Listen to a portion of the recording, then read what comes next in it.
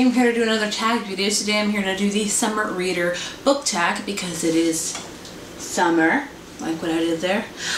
Um, anyway, I was not tagged in this video, I actually saw it on Jesse's channel um, and I was like a summer tag? Definitely, I don't do enough seasonal tags, just kidding, I do a ton. So anytime I see a seasonal tag, I hop right on that. Anyway, the creator of this tag was Island of Books, I believe. I will leave her link down below as well as Jesse's video. So yeah, let's get on to the summer of books because Yay, summer. Even though I really don't like summer all that much because it's hot. Question number one, lemonade, which I don't like. I used to work at Chick-fil-A where I would have to squeeze lemons like every day and because of that, I hate lemonade now. So thanks Chick-fil-A. Otherwise I love Chick-fil-A. I just hate making, I just won't eat certain products. I make them so much there. Book that started off bitter but ended up being good.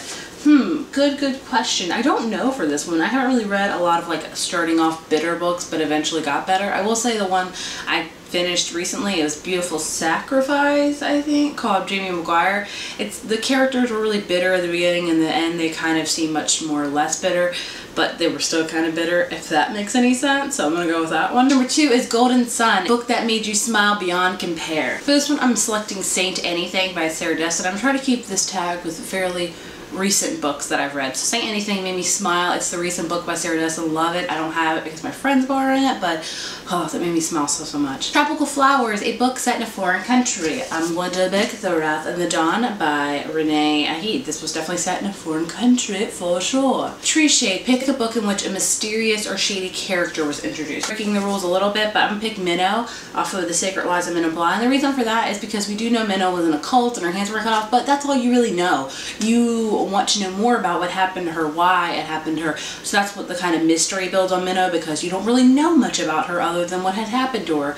Uh, but you want to know how and when and like what all these events led up to why. So it's very, very mysterious. Minnow was definitely mysterious. Beach Sand. Pick a book where the plot was grainy, the plot where the the plot was barely developed. And um I don't really know for this one. I haven't read a book in quite some time that I didn't really think the plot was really, really not developed. So I'm going to skip this one, sorry. Green Grass. Pick character or characters that were full of life, making you smile. Um, for this one, I'm going to go with my standby Harry Potter. All the characters are so full of life. They all make me smile a ton. Um, other people, um, a lot of characters from the Throne of Glass series make me smile, like Celaena and Chaol and all those weird named people. They all make me smile. Watermelon, pick a book full of juicy secrets. Any really one of Jamie McGuire's books. There, I feel like, um, especially with her series, The Maddox Brothers, I think it's called, each one of those books has like a secret about one of the characters, and you usually guess it throughout the book, but still it's like full of secrets. Like, why is this character like this? There's been something that's happened to them. What's the secret? And so they're full of secrets. I won't say they're like juicy secrets, but they're secrets. Sun Hat, pick a vast, big universe slash setting. For that one, I'm to pick Across the Universe by Beth Revis because it's told in space. If that's not a big, vast universe for you, I don't know what is. Plus, it's an awesome book. This book does not get enough much love. Please read this freaking book. I have reviews on it. Check it out.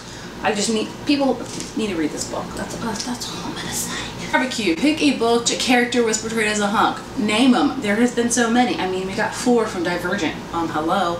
Evan from The Fifth Wave. Hello. Chaol from the Throne of Glass series.